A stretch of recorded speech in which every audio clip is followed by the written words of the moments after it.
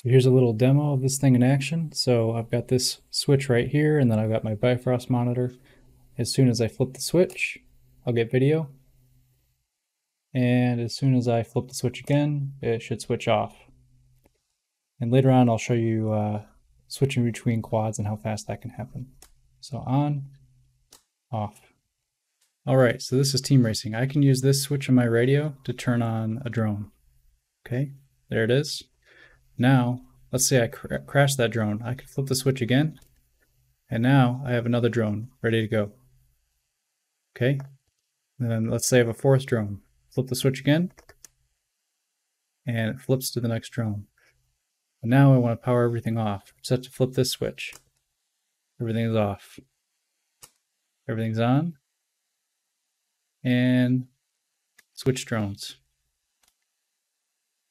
Pretty cool. All right, let's talk about team racing. I've got that HDZero team race event coming up at the end of August, and I'd love to see you all there.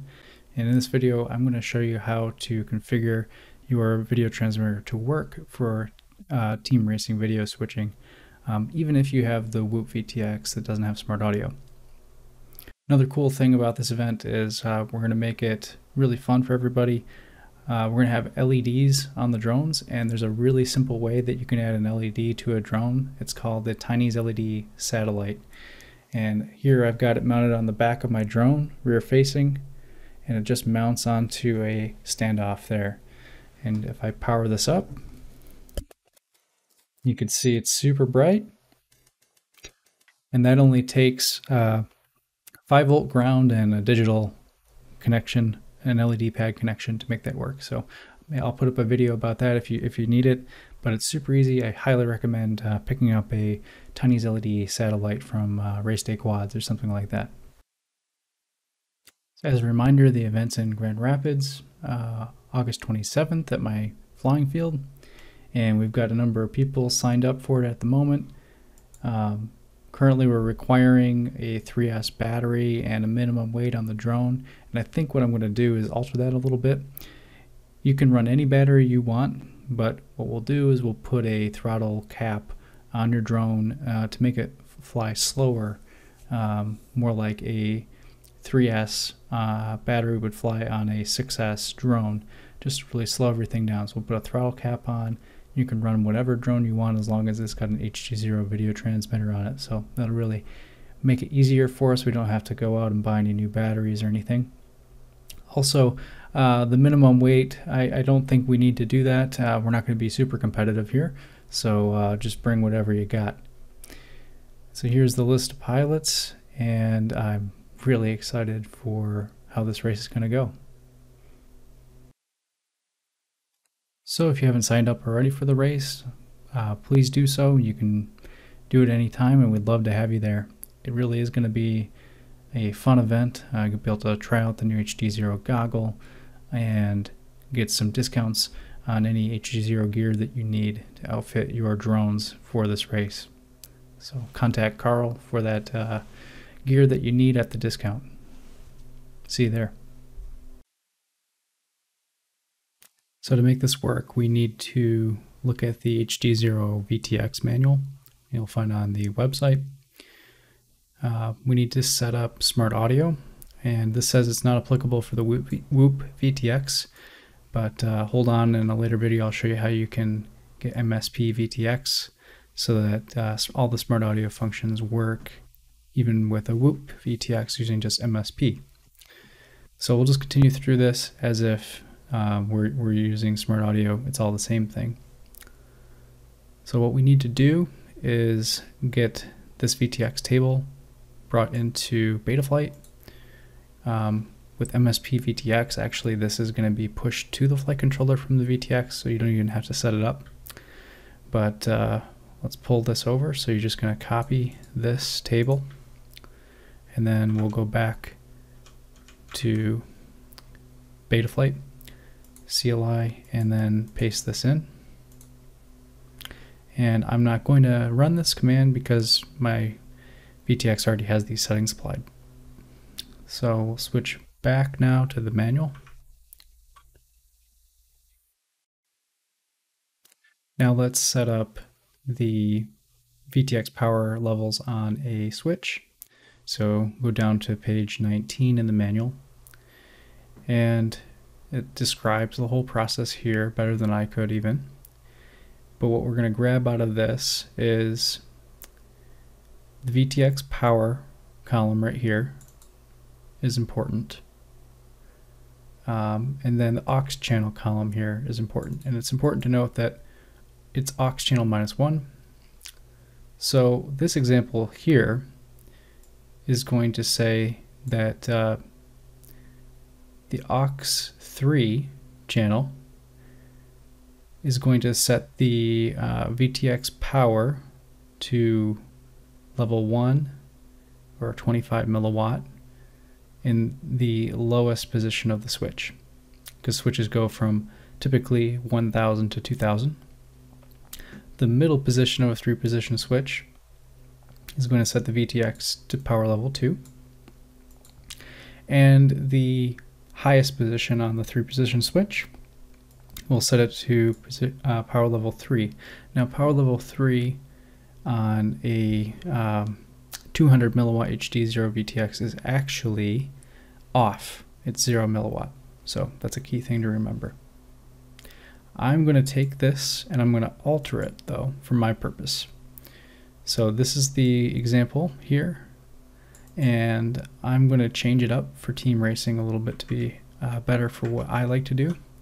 So I've gone ahead and done that. Um, so I've set, I've decided that aux 4, you can see it here, aux 4, which is 3, is going to first, in the default position for aux 4, is going to have the VTX power off. That's what this 3 means. Okay. The other two positions on this three position switch are going to be 25 milliwatt. So that way I can um, turn the radio on and it will be VTX power off by default. I then have to flip my aux channel 4 switch on my radio down uh, all the way or part way, it doesn't matter, and the VTX will switch to 25 milliwatt. And then when I want to turn the VTX power off, I put the aux position back to the default position. So take this, uh, you can alter the um, the aux channel for your purpose. Remember, this is aux channel here minus one. So if you want to do um, aux 2, then this is going to be 1. Okay?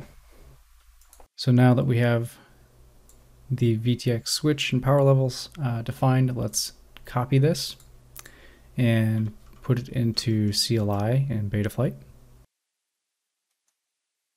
Just paste it in and hit enter and save. So I need to point something out to you. If you're using the ExpressLRS uh, VTX administrator to change channels through Lua um, to this receiver, you might have some issues with the setup I just described. Uh, so here, here's what I'm talking about. Hopefully that's focusing for you. So VTX administrator is the, the thing that I'm telling you to uh, be concerned with. So we'll go in here and if the in the VTX administrator the power level is set to anything other than dash, then the ExpressLRS VTX administrator is actually going to push the settings uh, for starting up at power level 1 to the drone. So we need to make sure that that is set to either be uh, off or, you know, so which would be power level uh, 3, I believe, or we have to set it to dash to say don't do anything. All right. So make sure you set that up or this is going to kind of be not doing what you expect. All right. The other thing is when you have multiple drones powered on at the same time paired to the same receiver. You want to go to telemetry ratio on here and you want to set that all the way to off. And the reason that you want to set telemetry ratio to off is because uh, when you have multiple drones, it, the radio doesn't know what drone uh, to get telemetry from. I think everything gets all screwed up. So multiple drones, you're to have to turn off telemetry, and um, that's also going to turn off VTX administrator, by the way. Um, but just just some some points to to bring up that I found with using Express LRS.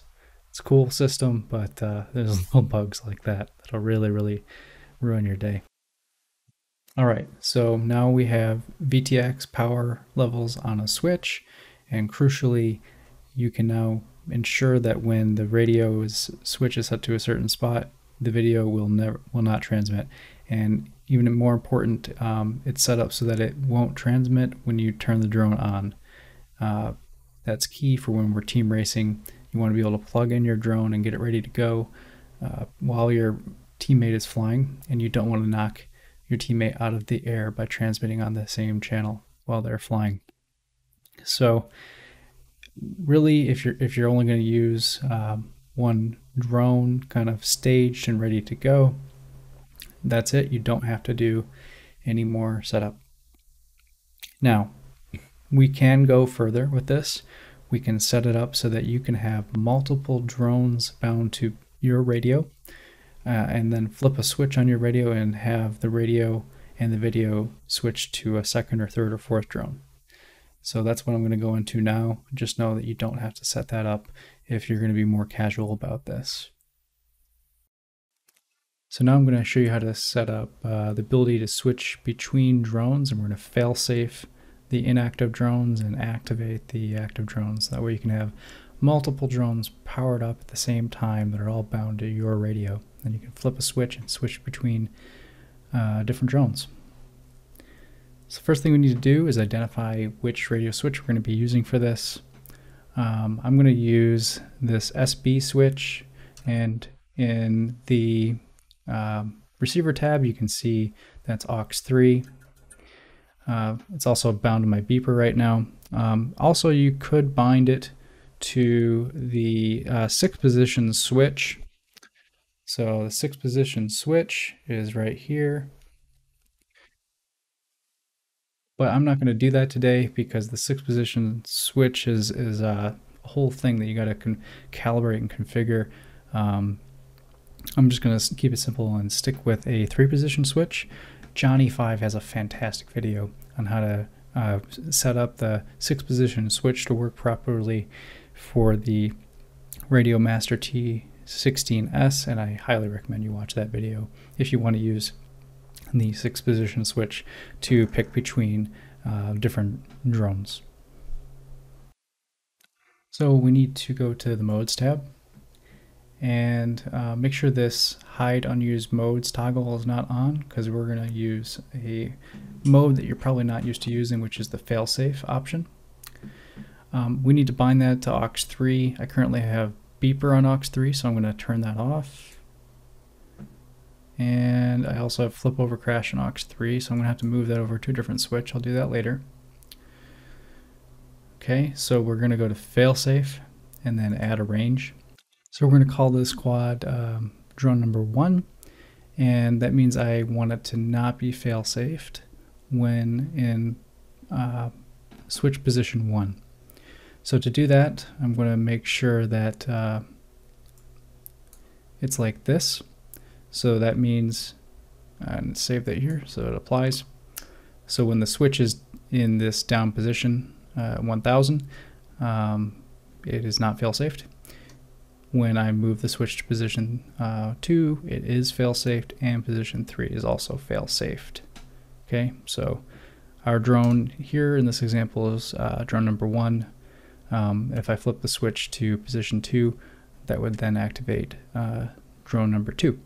And then if I uh, move it to the third position, that would activate drone number three. Okay. Now let's uh, make this a little bit more complicated. Um, let's let's pretend that we're setting up drone number two rather than drone number one. Now this is the key. We need to do add range.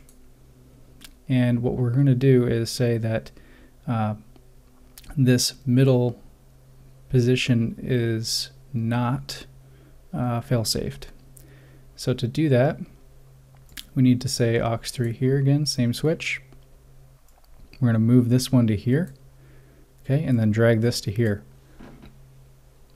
Now what that just did is some combination logic that says that, uh, you know, when this three position switch is in the middle position, uh, the failsafe is not active. So let's save that. And so if, if uh, this was drone number two and I move the switch to position one, um, the drone is fail-safed. When I move it to position two, it is not fail-safed and we can fly. And then if I move to position three, um, it is again fail-safed. Okay. And just for sake of argument, um, if we were going to set up drone number three in this scheme, um, we're going to move these things around a little bit. So we'll say that's okay. And um, technically we don't need to do the OR condition here, but you could do this. So save that. Uh, so this is fail-safe, this is fail-safe, and this is not fail-safe. Okay. But uh, let's get this back in order. So we're, setting this up as if it was quad number two. All right. So we're almost done. The last step that we need to set up is in the failsafe tab. What we need to do is set the video transmitter to be set to off when failsafed. Okay, so let's go through that process. And uh, if you don't see the failsafe tab, you need to enable expert mode that's up here. That adds in these additional tabs that we're missing. So now we'll click on failsafe.